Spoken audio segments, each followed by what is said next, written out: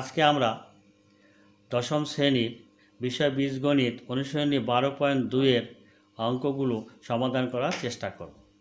এমন সবগুলির অঙ্কই সমাধান করা সম্ভব নয়, তাই আমি একটা অঙ্ককে প্রতিস্থাপন, অপনয়ন এবং আর গুণন বা বজ্রগুণন পদ্ধতিতে সমাধান করে দেখাব। তাই নয় নম্বর অঙ্কে প্রতিস্থাপন পদ্ধতিতে আমি প্রথমে করে দেখাবো। অঙ্কটির মধ্যে আছে x plus twice y equal to seven twice x minus সেরা ইকুয়াল টু জিরো এক্ষেত্রে যে সমীকরণ থেকে আমাদের এক্স কিংবা ওয়াইয়ের মান বের করা সহজ হবে, সেই সমীকরণটাই আমাকে বেছে নিতে হবে। সেক্ষেত্রে এক নং সমীকরণ থেকে এক্সের মান বাই করা সুবিধাজনক। সেক্ষেত্রে আমরা সমীকরণ এক হইতে পাই লিখেছি। তাই সমীকরণ এক আছে x plus twice y equal to seven বা x equal to seven minus twice y সমীকরণ দিয়েছি তিন নম্বর। যেহেতু আমরা দুই নম্বর এই এক নম্বর সমীকরণ থেকে এক্সের মান বের করেছি, সুতরাং এই মানটা দুই নম্বর সমীকরণে বসাতে হবে। তাই দুই নং সমীকরণে এক্সের মান বসাইয়া।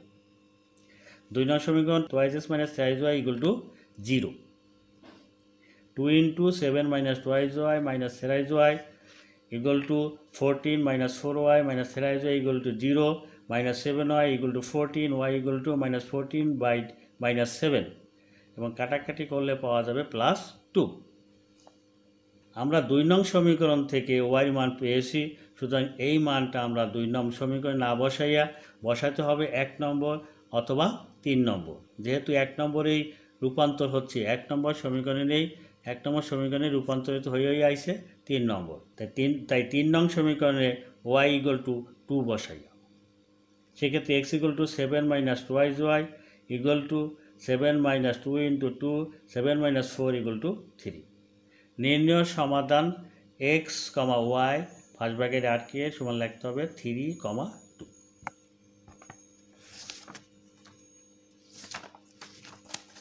তাই অঙ্কটা আমরা পুরোপুরি দেখার চেষ্টা করি এক ছবিতে ঠিক আছে?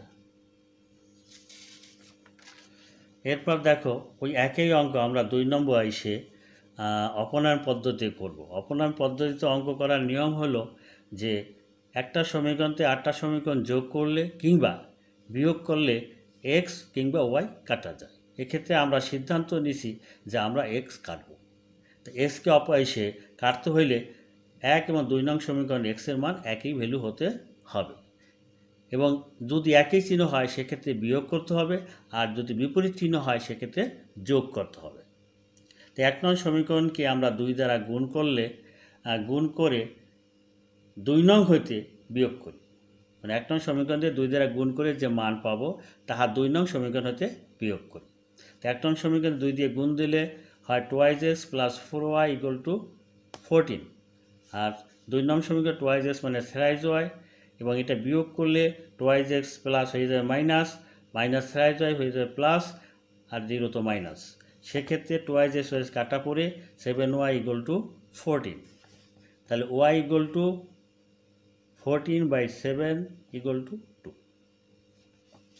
এক নং সমীকরণে ওয়াই মান বসে যায়। সেক্ষেত্রে একটা ব্যাপার হলো যে আমরা যেহেতু দুইটা সমীকরণকে কাজে লাগাইয়ে এই মান নির্ণয় করার চেষ্টা করেছি, সেক্ষেত্রে আমরা ইচ্ছা করলে এক নম্বর সমীকরণও বসাতে পারতাম, দুই নম্বর সমীকরণও বসাতে পারি। আমরা এক নং সমীকরণে ওয়াই মান বসিয়ে দিলাম।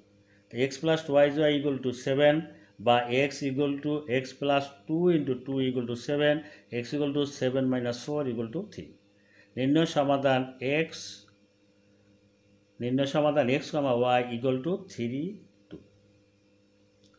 পুরো অঙ্কটা আমরা আবার ভালোভাবে দেখার চেষ্টা করি এক নজরে।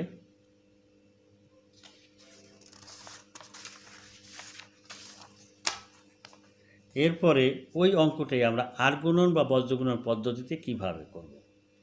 আর গুণন বা বজ্রগুণন পদ্ধতিতে মনে রাখতে হবে, তিনটা রাশি থাকবে, একটা হলো এক্সের একটা ওয়াই আরটা থাকবে ধ্রুব সংখ্যা। এবং তিনটি মানই থাকবে এক পার্শ্বে, বিশেষ করে বাম পার্শ্বে। তো এক্ষেত্রে সেভেনটা ডান পাশে আছে, এই জন্য সেভেনকে আমরা বাম পাশে নিয়ে এসেছি। তাই x plus Y Joy minus seven equal to zero সমীকরণ দ্বিতীয় আছে twice x minus thrice y equal to zero এখানে পদ আছে আমাদের দুইটা, কিন্তু থাকতে হবে আমাদের তিনটা পদ। সেক্ষেত্রে twice x minus thrice y plus zero equal to zero লিখেছি। এক্ষেত্রে যদি এখানে ধ্রুব সঙ্গে অ্যাবসেন্ট ছিল বিধায় আমরা জিরো বসিয়েছি, যদি ওয়াই অ্যাবসেন্ট থাকে জিরো ইন্টু ওয়াই লিখতে হবে, যদি এক্স অ্যাবসেন্ট থাকে, তাহলে জিরো ইন্টু এক্স লিখতে হবে। লিখে ওখানে তিনটা পদ দেখাতে হবে। এখন প্রথম সমীকরণ তিনটা পদ, দ্বিতীয় সমীকরণ দুই তিনটা পদ। এখন এই সমীকরণ দুইটাকে আমরা বজ্রগুণ পদ্ধতিতে সমাধান করতে পারি। তাই সমীকরণ এক ও দুই বজ্রগুণ পদ্ধতিতে সমাধান করিয়া। এক সমীকরণ এক আর দুই সমীকরণ বজ্রগুণ পদ্ধতিতে সমাধান করিয়া। তাহলে x plus y y minus seven equal to zero twice x minus thrice y plus zero equal to zero এখন আমাদের প্রথম সমীকরণ এক্স আছে এক্স উপরে লিখলাম ওয়াই দ্বিতীয় দ্বিতীয় উপরে লিখলাম এবং পরবর্তী দুর্বল সংখ্যা সেক্ষেত্রে ওয়ান লিখলাম। এখন এক্স যদি আমরা করি, তাহলে আমরা এক্সটাকে অফ রেখে এখন ওয়াইয়ের সাথে টু এইটার সাথে এইটা গুণ হবে আর এইটার সাথে এইটা গুণ হবে। এ two into zero minus minus seven into minus three minus seven into minus three আর ওয়াইয়ের যদি মান বের করি ওয়াইকে আমরা আটকিয়ে রাখব? সেক্ষেত্রে আমরা পাবো সেভেন ইন্টু টু এটা মাইনাস সেভেন ইন্টু টু আর একটা হবে এক্সের সাথে ওয়ান আছে এবং এখানে জিরো আছে, এই ওয়ান ইন্টু জিরো এরপর যখন দুর্ব সংখ্যা ওয়ান লাগবো, সেক্ষেত্রে এই দুর্ব সংখ্যা আমরা অফ রেখে দেবো। তাহলে বাকি থাকে কি? এক্সের সাথে থাকে ওয়ান আর নিচে থাকে ওয়াই সাথে minus three so x one into minus three minus two into two সেক্ষেত্রে x divide by zero minus two into one y minus y divide by minus fourteen minus zero R one divide by minus three minus four তাহলে x divide divide by minus twenty one y divide by minus fourteen equal to one by minus seven এখন এইটা হলো ধ্রুব সংখ্যা। সুতরাং এইটার সাথে একবার এইটার সাথে সম্পর্ক করব, আবার এইটার সাথে আবার এইটার সম্পর্ক করব। সেক্ষেত্রে আমরা x by two into one equal to কত? ওয়ান বাই সেভেন তাহলে x equal to two into one উপরে চলে যাবে, কাটাকাটি করলে আমরা পাবো, এটা কাটাকাটি করলে আমরা পাবো থ্রি এবং y minus fourteen equal to minus seven y equal to fourteen by seven এবং এইটার সাথে এটা কাটাকাটি করলে আমরা পাবো টু সুতরাং নির্ণয় সমাধান x comma y equal to two three two x comma y equal to three two